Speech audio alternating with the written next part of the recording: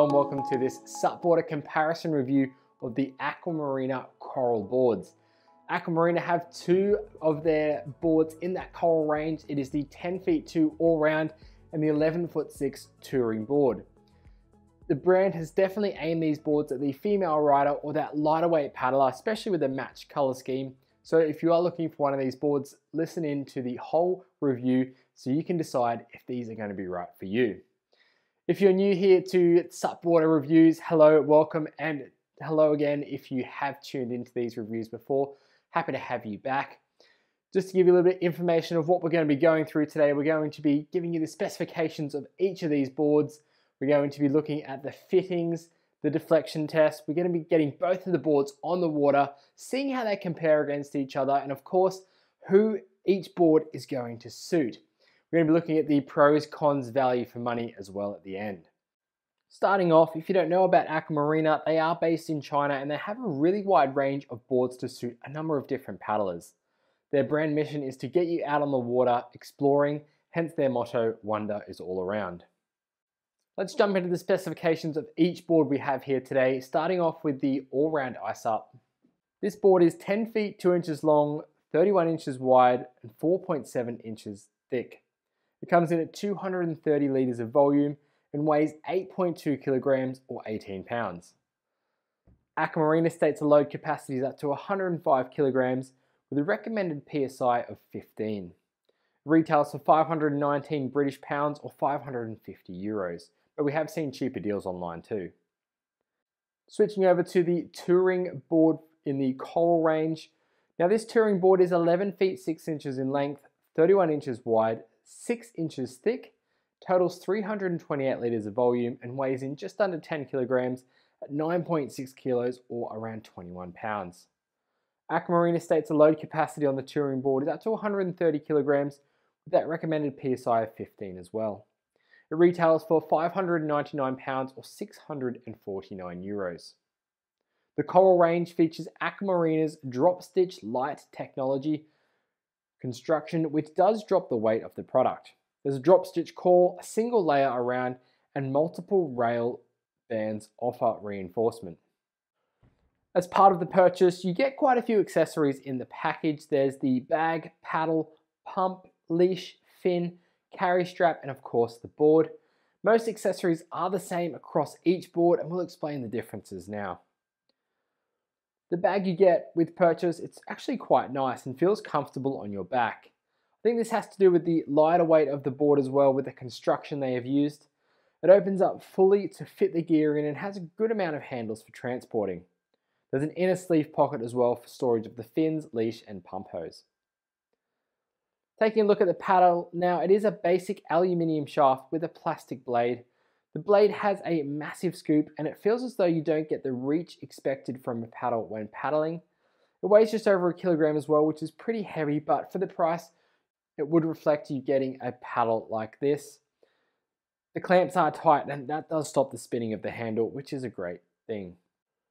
Taking a look at the pump, it is a GRI double action pump branded up with Aqua Marina. Now that double action means you can switch the dial on the pump to number two to use both the upstroke and downstroke to inflate. And then when the pumping gets tough, switch that dial to number one and you just have that downstroke for inflation, which makes it a little bit easier.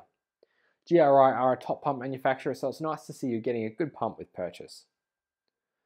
You also get a good branded leash with the package. Now, the leashes do differ between the boards. You'll notice on the smaller 10 feet 2 all round, you get the straight leash, and then for the touring, you get a coiled leash. Both leashes seem to be really nice in the water.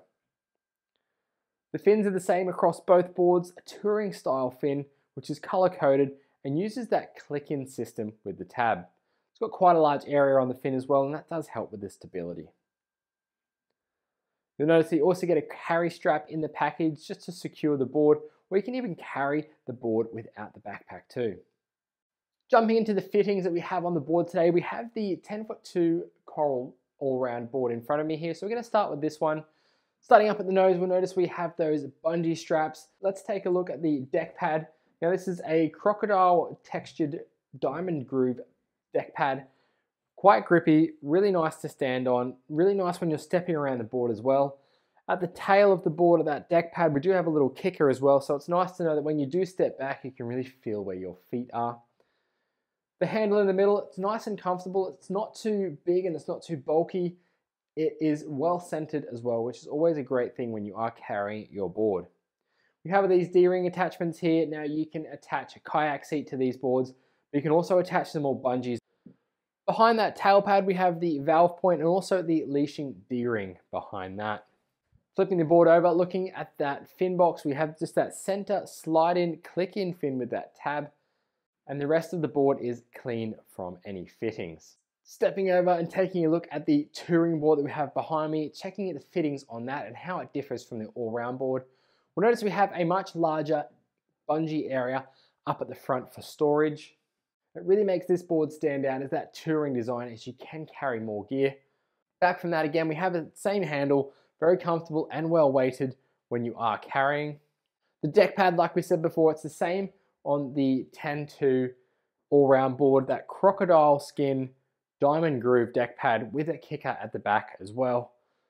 We also have a bungee system behind and you do get the bungees included with the purchase of the touring board. So that's a really great option for storing gear both in front and behind you. Behind that kicker on the tail pad, we have the valve point and the leashing D-ring. Then flipping the board over underneath, we do have a tail runner on the 11.6 touring board. That just helps with water release. And we also have the same fin box with the same fin on this board as well. So quite a few differences there between the boards and they really do aim themselves toward different styles of paddling, which we're going to get into once we get on the water and toward the end of this comparison review. But we're going to get into the deflection test before we move any further.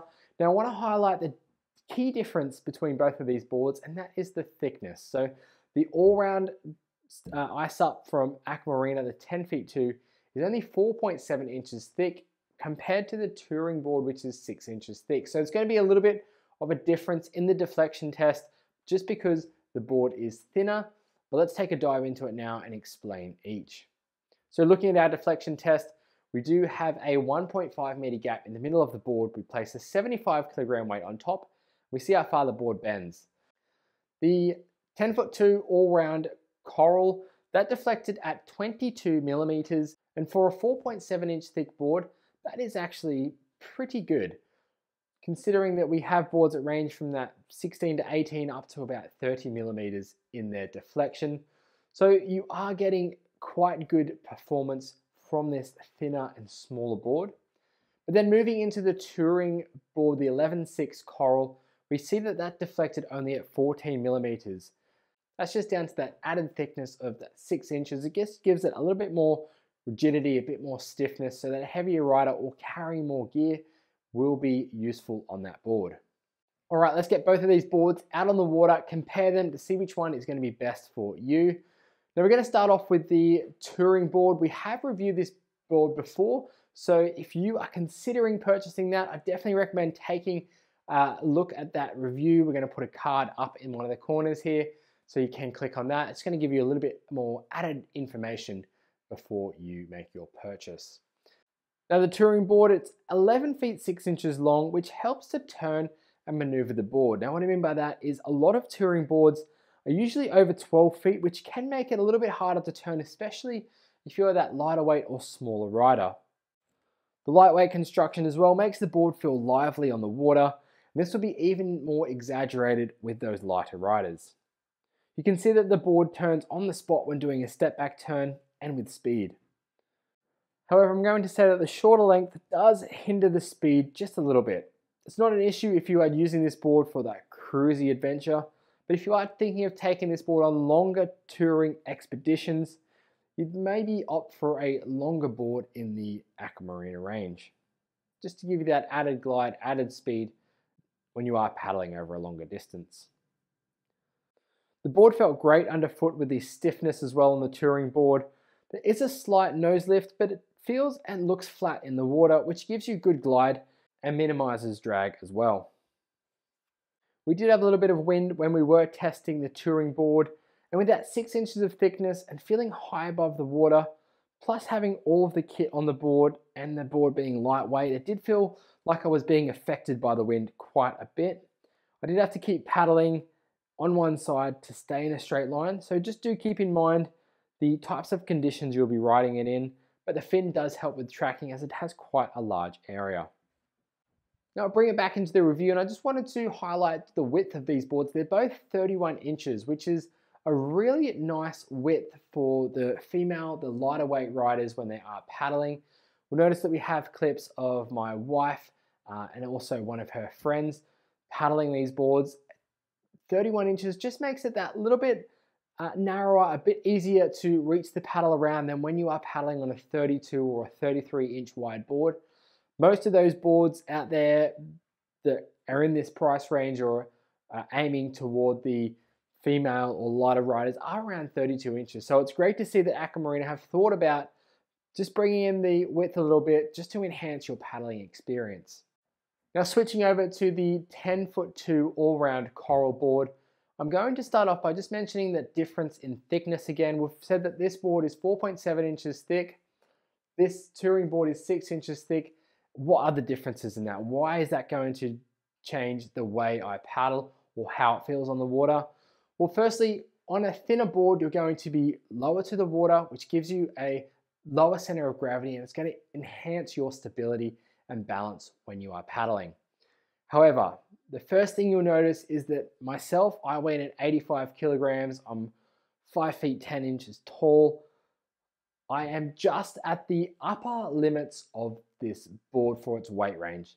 You'll notice that I'm quite low in the water. The water's almost lapping up over the board. So definitely recommended if you are riding a 4.7 inch thick board, that you are in that weight range of say 75 to 80 kilograms maximum. Uh, if you are over that, maybe think of getting a board that's going to have a little bit more materials just to enhance that stiffness because this board it's just definitely suited to those lighter weight riders.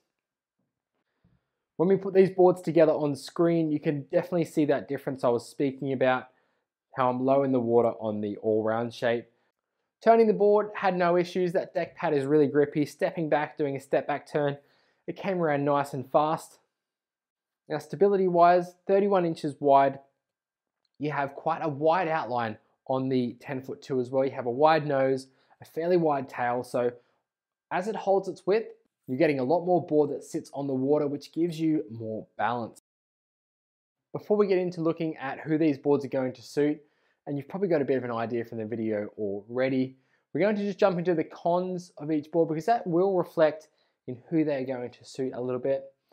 Now, for both of the boards, I'm going to say that you could be getting a better paddle with the package for over 500 British pounds or, you know, 550 up to that 650 euro mark. There are some other brands that are at a cheaper price point that do have a better paddle included. So it would be nice to see that paddle upgraded. It is quite a heavy paddle, but again, if you are just getting into this sport, there's really no need to have an upgraded paddle just yet. It's going to be great to get you out on the water, paddling around, having fun, especially if you are going to be on the all-round iSUP. Switching over to the touring board, and just really as a touring board, it is marketed as that ex exploration board It'd be nice to have some handles on the board up the front or at the back, just so it's easy maneuvering when you are in the shallow waters. And again, I'll just mention that we did have a little bit of wind when we were testing, which was nice because it means we get out in all different types of conditions, but you will be affected by the wind if you are on this board. And as a lighter rider, it can be difficult to turn the board as you are high above the water on the six inch thick touring board. Lastly, one of the cons, and this is something we highlight in all of our reviews, is the environmental credibility of the brand. Everything comes wrapped in plastic from Aqua Marina. So if you are conscious about buying eco-friendly, do maybe have a look elsewhere at other brands who are doing better things for the environment. It's great that Aqua Marina want you to get out there and explore, get out, you know, and see all the wonder that the world has but it would be nice to tie that back into some environmental credibility. And I know it's hard to change a whole factory factory's process in doing that, and we'll have more information coming about that on more SUPboarder videos very soon. But it would be great to see them start changing it up just to maybe align themselves better with their mission. So stepping into the value for money then, looking at that, you know, mid 500 pounds up to 650 euros for the touring board. I think you are getting a pretty good package for that amount of money. You're getting a great pump, you're getting nice fin, good leashes with the board. We said that that paddle could be upgraded, but it does fit in fairly well with that price point.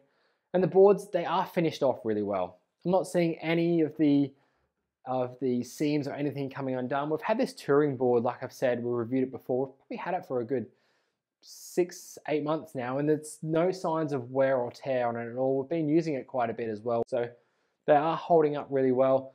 Great value for money from Aqua Marina, and they're going to get you out on the water enjoying your local waterways. So who are these boards going to suit? It's crunch time. Let's get into that comparison component of our reviews. Starting off with the all-round 10 foot 2 coral. It's definitely suited to people who just want to cruise around their local waterways, get out not too close, not too far from shore, uh, maybe get the kids involved in stand-up paddling. Just having a board that can offer you great stability and great fun for riders under 80 kilograms. And that's key, just making sure that you're under that 80, 75 kilogram mark. You'd be hitting the sweet spot on this board. Maneuverable, stable, you get some great glide when you are that lighter rider, and you have the option to carry some gear if you were to go a little bit further, but then you'd want to probably upgrade to the touring board, which we'll mention now. So this touring board is probably great for riders up to about 90 kilograms in weight, plus even taking some extra gear as well on the front and the back. They say the recommended low weight's up to 130 kilograms, so you have that option to carry some extra gear this board, the touring board, I'd really suggest that you have maybe a little bit of experience, but even if you are coming into the sport as a brand new paddler, you could get the touring board if you were under that 70 kilogram mark or 75 kilogram mark. It'd be great because it opens up a lot of potential for you to go into different disciplines of stand-up paddling. The all-round board, it's great. You can jump in the waves if you wanted to, but the touring board really lends itself to getting out in a bit more open ocean style, maybe a bit more bumpy water conditions, longer touring adventures so you can explore around the next headland and still have a board that's going to be a little bit longer, going to have better glide, so it's going to get you there faster, rather than having something that's going to be a little bit slower in the water, such as the all-round iSUP. We hope that this comparison review of the Aqua Marina corals gives you a better understanding and insights into if these boards are going to be right for you. Remember, please do like, subscribe to these videos. You'll get a lot of updates on future videos that are coming out from SUPboarder as well. And do head to our website and do click the link below in the description below because we have a lot more information on the website about these boards. We have scale ratings, we have write-ups of the board, we have more photos, and of course, we have added information as well that might be interest to you if you are going to purchase one of these boards. We really want to thank you very much for tuning in. If you have any questions, leave them in the comment section below. We'll happily answer them for you. See you again on another SUPboarder comparison review.